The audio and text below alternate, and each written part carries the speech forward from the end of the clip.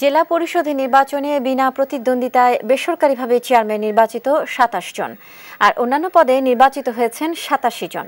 নির্বাচিতদের বেশিরভাগই আওয়ামী লীগ সমর্থিত। প্রার্থিতা প্রত্যাহার শেষে বিনা প্রতিদ্বন্দ্বিতায় জয় নিশ্চিত হয় তাদের। প্রতিনিধিদের পাঠানো তথ্য ও ছবিতে ডেস্ক রিপোর্ট। উত্তপ্ত জেলা পরিষদ নির্বাচনের মাঠ। প্রতীক বরাদ্দকে কেন্দ্র করে নড়াইলে সংঘর্ষে জড়িয়ে পড়েন দুই প্রার্থীর সমর্থকরা। অভিযোগ উঠেছে, স্বতন্ত্র চেয়ারম্যান প্রার্থী সৈয়দ ফয়জুল আমির লিটুর সমর্থকদের উপর হামলা চালায় আওয়ামী লীগ সমর্থিত প্রার্থী সুভাষচন্দ্র বোসের সমর্থকরা। এ সময় আহত হন কমপক্ষে আটজন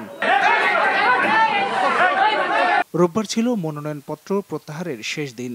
মনোনয়নপত্র প্রত্যাহার শেষে জেলা পরিষদ নির্বাচনে বিনা ভোটে বেসরকারিভাবে জয়ী হন একশো চোদ্দ প্রার্থী, যার মধ্যে চেয়ারম্যান পদে জয় পেয়েছেন সাতাশ জন।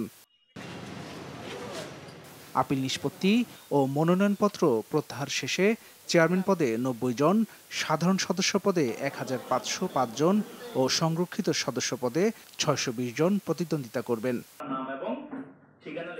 আজ প্রতীক মধ্য দিয়ে শুরু হলো জেলা পরিষদ নির্বাচনের প্রচার প্রচারণা।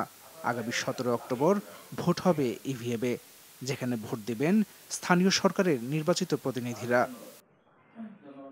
Hasan Sabbir, news desk, Desh TV.